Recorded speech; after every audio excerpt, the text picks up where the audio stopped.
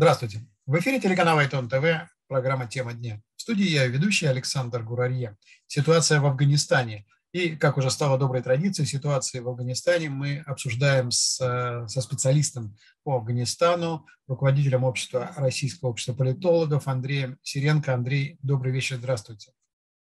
Александр, добрый вечер.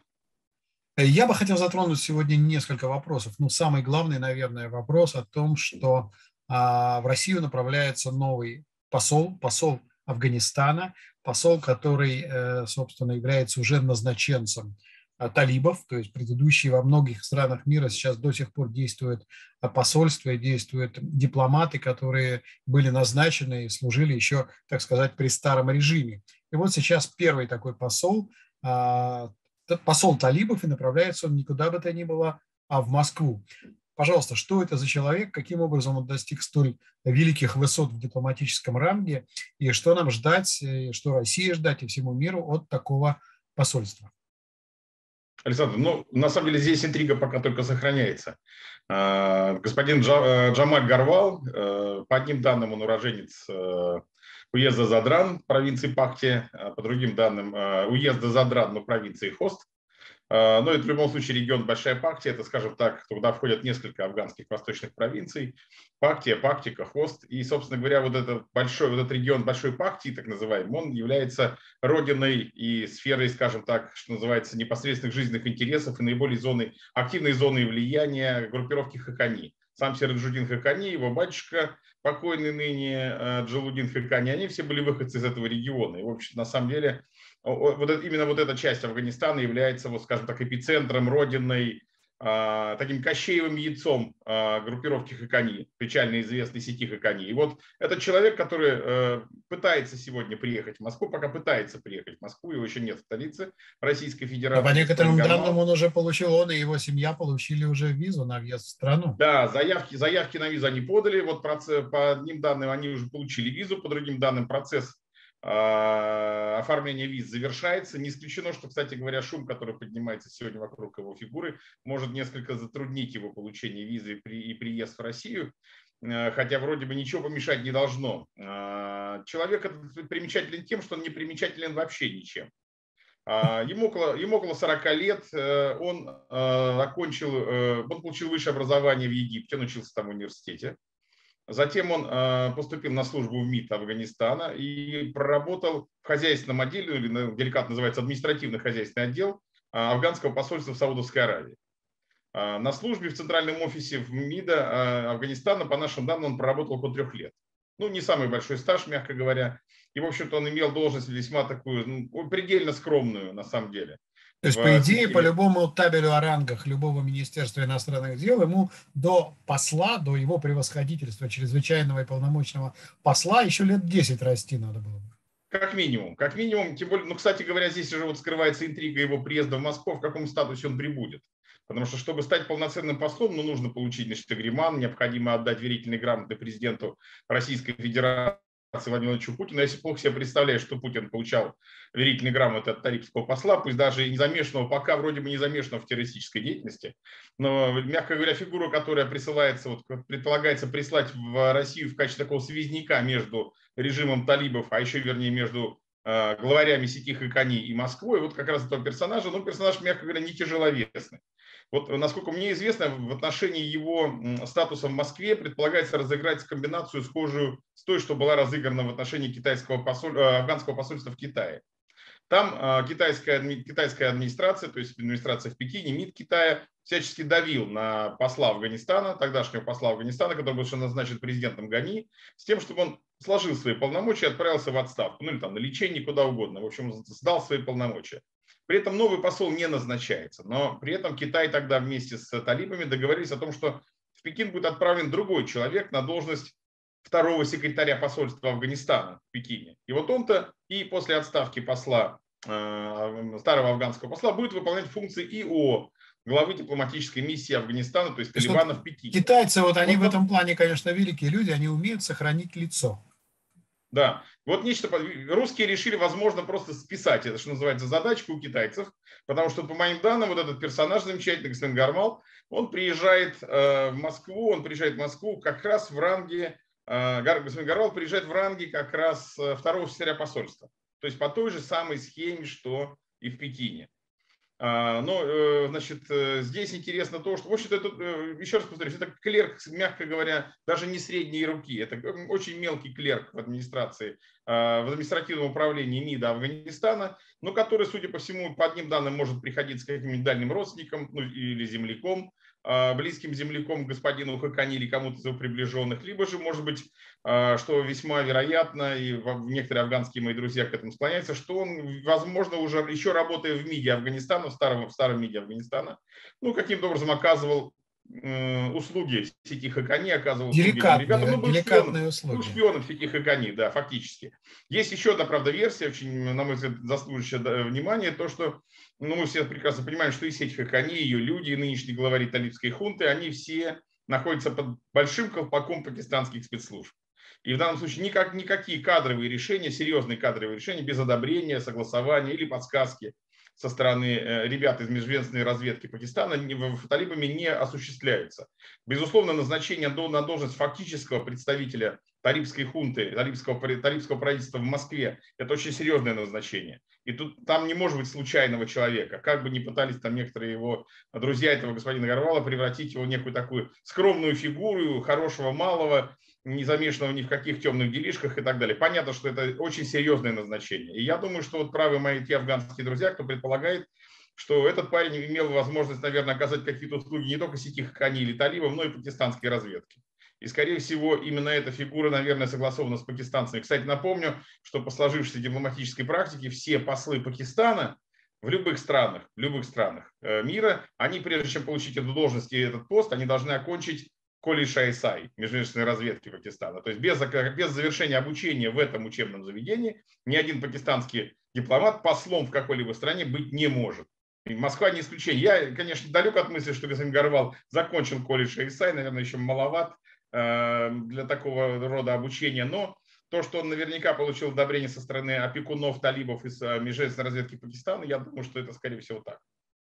Андрей, скажите, вот э, последнее время э, ситуация в Афганистане, она, в общем-то, далека от стабилизации и вновь поднимает голову ИГИЛ. Мы в наших программах с вами неоднократно об этом говорили.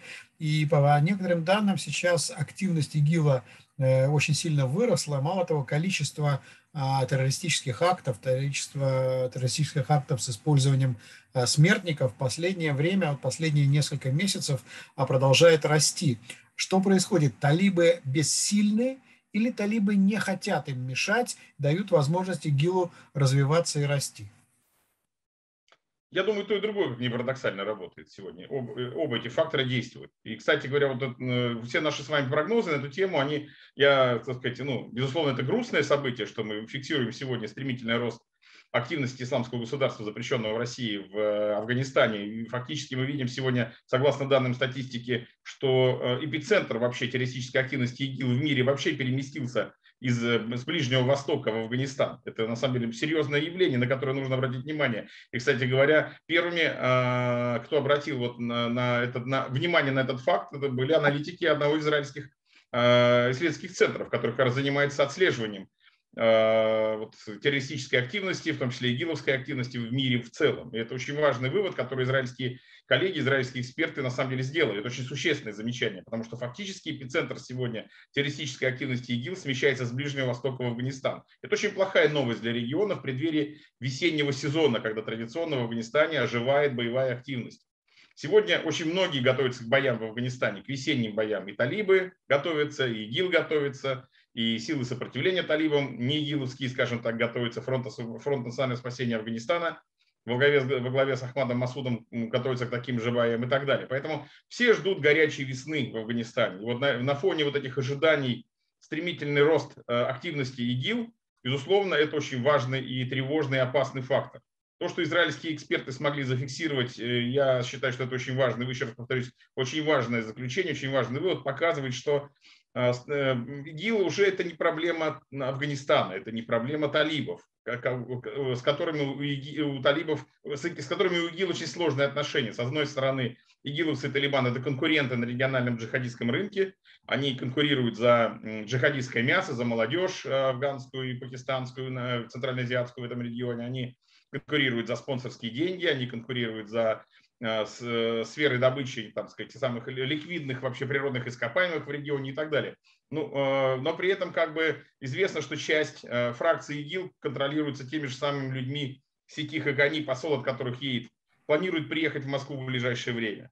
А, известно, что некоторые фракции исламского государства, внешне якобы не связанные с Талибаном, они на самом деле с хаканистами очень плотно опекаются. И, в общем-то, на самом деле очень часто ИГИЛ берет на себя те преступления, которые фактически совершают террористы сети Хакани. Ну, как, например, атаки на некоторые шиитские мечети. Когда ИГИЛ говорит, что это, эти атаки совершили их боевики, на самом деле э, афганские эксперты, наблюдающие ситуацию изнутри, э, с высокой долей вероятности склонны утверждать, что это сделали боевики сети Хакани который является частью режима талибов на самом деле. С другой стороны, у талибов, конечно, не хватает сил сегодня справиться с сетью ИГИЛ, которая стремительно расширяется в Афганистане. А вот афганские, э, израильские эксперты, которые зафиксировали рост числа боевых нападений игиловцев и, соответственно, рост численности их жертв, э, эту, статистику можно дополнить тем, что сегодня э, формирование новых ячеек, новых фракций ИГИЛ территориально осуществляется очень стремительно на большей территории Афганистана. Вот наши афганские друзья, которые сегодня находятся там, э, в стране, э, в Афганистане, которые не уехали э, по разным причинам из этой, за границу, они сегодня фиксируют, по их данным, что не менее половины провинции Афганистана сегодня не контролируется, но там находятся фракции ИГИЛ, там находятся отряды ИГИЛ самой разной численности, самой разной активности, уровня боевой активности, с разными деньгами, и, кстати говоря, с хорошими деньгами. Это очень важный момент, который тоже вот необходимо учитывать, у ИГИЛа появились хорошие деньги. Они платят сегодня зарплату боевик, самим боевикам больше раза в два, в три, чем талибы. Андрей, я правильно вас понимаю, что, пока, да. что складывается ситуация, когда ИГИЛ начинает э, составлять серьезную конкуренцию самим талибам. Я понимаю, что пока что они в разных весовых категориях, но мы помним, как стремительно выросло э, исламское государство в свое время. А не кажется ли, на ваш взгляд, что возможно повторение подобного сценария и в Афганистане, что ИГИЛ подомнет под себя э, талибов? А, Наверное, пока вы правы, Александр. Сегодня говорить об этом вряд ли стоит. Да? То есть пока ИГИЛ не набрал того политического веса, финансового, военного веса, который мог бы вот повторить тот а, феерический совершенно успех ИГИЛ на Ближнем Востоке, который был там совсем недавно, несколько лет назад. Да? Но я думаю, что вот сегодня успех ИГИЛ зависит, э, но теоретически исключать того, что а, ИГИЛ сможет взять под контроль не одну, а несколько афганских провинций, такое, такая угроза, э, на мой взгляд, существует. Речь идет в первую очередь о северных и восточных провинциях Афганистана, где ИГИЛ достаточно активен. Мне кажется, что здесь очень важны две вещи, которые вот, а, от которых зависит, будет ли успешен ИГИЛ или нет в дальнейшем.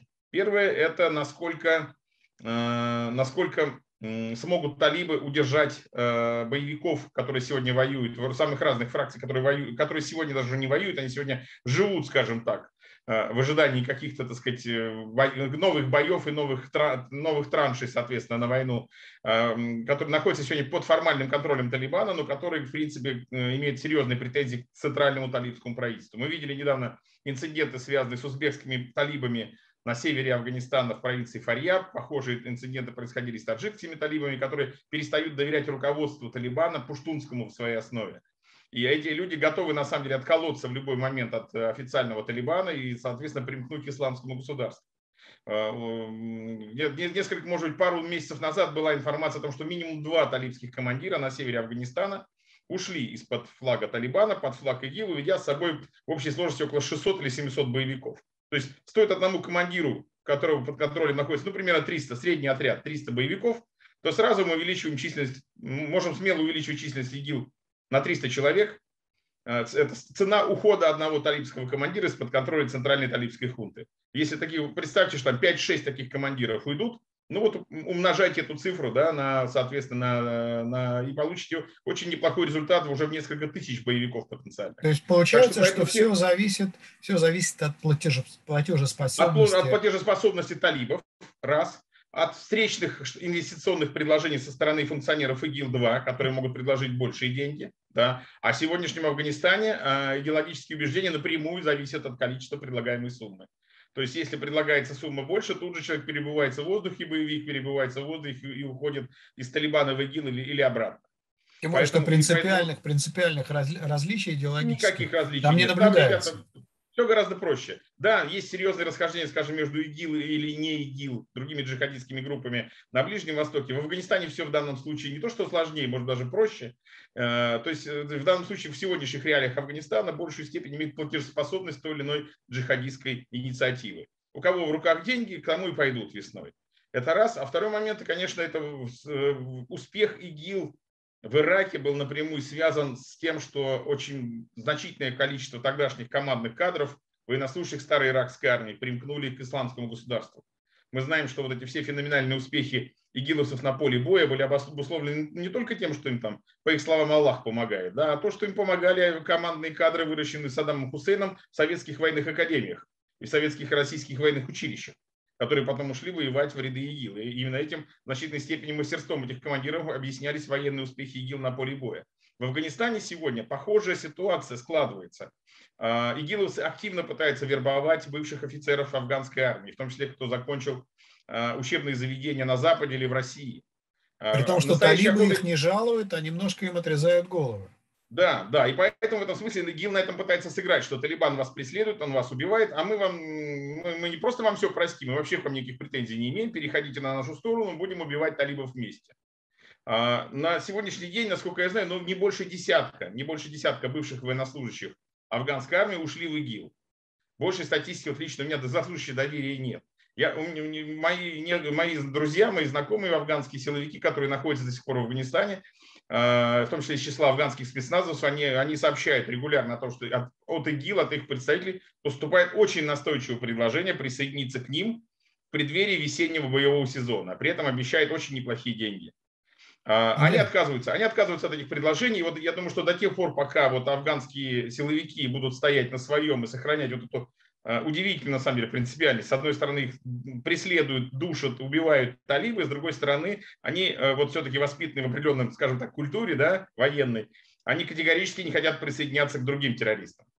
А, какая-то офицерская хотят... честь присутствует? Ну вот, наверное, что-то, как ни парадоксально, это есть. Да, для Востока, кажется, это немыслимо, но вот есть. Вот у ИГИЛ сегодня колоссальные проблемы с тем, что они не могут эти старые офицерские кадры, ну какие старые, там ребята, которым по 40, по 35 лет, это, ну, теперь это уже старые офицерские кадры, которых они не могут перетянуть на свою сторону. И э, я думаю, что до тех пор, пока вот, э, вот этот костяк афганской армии будет сохранять Эм, вот эту позицию свою не присоединение к ИГИЛ. У ИГИЛ мало что получится, потому что они... Вы понимаете, сохранять, сохранять эту позицию, сохранять эту позицию они могут до определенного момента. Мы с вами, э, так сказать, не раз говорили о том, что ситуация, э, гуманитарная ситуация в Афганистане очень и очень сложная. Мы как раз э, говорили, что вот ожидаются морозы, которые, собственно, сейчас и наступили, и там просто начинается откровенный голод. И я думаю, что долго держаться и, так сказать, держаться за честь мундира эти уважаемые офицеры просто не смогут. Да, я, я понимаю, что они будут искать, наверное, сегодня все-таки какую-то альтернативу. Я знаю, что очень многие бывшие офицеры афганской армии э, ждут весны, чтобы присоединиться к фронту национального сопротивления Масуда, например. То есть для которых вот эта альтернатива для них наиболее предпочтительная. То есть воевать и с талибами, и с ИГИЛ. Э, но до, до весны еще надо дожить, да, она не за горами. Э, но, в принципе, э, вот традиционно боевая активность какая-то в Афганистане начинается после Навруза, то есть после 20 21 марта. И вот тогда, наверное, стоит ожидать каких-то событий. Но до до как, вы правы, как вы правы, нужно дожить до, этой, до, до, до этих дней. Еще почти два месяца. Э, и поэтому, и, поэтому, и поэтому ситуация очень острая, сложная. Мы видим, что талибы сегодня предпринимают очень серьезные лихорадочные усилия на севере Афганистана. Они пытаются сегодня отмобилизовать там свои подразделения, создавать новые боевые части именно в преддверии вот этого весеннего наступления, пытаются заблокировать те на их взгляд, опасные направления, со стороны которых возможно нанесение ударов антиталибской оппозиции. Э, и поэтому, конечно, в данном случае Талибан будет предпринимать, на мой взгляд, самые разные усилия, чтобы вот это будущее наступление антиталибского сопротивления, к которому, как ни парадоксально, может присоединиться, что называется, где-то сбоку ИГИЛ, они будут попытаться его сорвать. И в данном случае, ну, я, ну, я не вижу, честно говоря, для талибов сегодня пока особых вот каких-то особо каких-то эффективных решений в этой сфере, потому что со старыми военными кадрами они договориться принципиально не могут и не хотят. Денег они от мирового сообщества не дождутся. А, социально-экономическая ситуация катастрофическая в Афганистане, и голод, и люди продают свои почки, и продают девочек э, в своих семьях для того, чтобы воспитать мальчиков и так далее. То есть идет на самом деле, э, что называется, распродажа уже детей со страшной силой. Уже не говорим о почках, да, там, о состоянии здоровья. Только в провинции Герат а минимум по, данным, по официальным данным около 500 человек продали свои почки, чтобы как-то прокормить семьи и так далее. Поэтому это, это уже индустрия, это уже поток. Люди, ну, когда, извините, почки кончаются, почки кончаются, распускаться весной будут уже другие почки. Это уже, видимо, игиловские проекты, какие-то новые джихадистские проекты, к которым на самом деле и, и эхо от которых ударит не только по Талибану, оно ударит и по странам региона, в том числе по интересам России в этом регионе. И Москве, конечно, нужно будет готовиться к этим событиям, а не только готовиться к встрече талибского посла, который, возможно, вот в ближайшие дни уже прибудет в столицу Российской Федерации. Андрей Сиренко, политолог, специалист по Афганистану. Спасибо большое, что нашли время побеседовать с нами. А, действительно, ситуация очень и очень непростая, и, к сожалению, катится она, если можно так выразиться, в пропасть. А наша программа подошла к концу. Всего доброго, до свидания.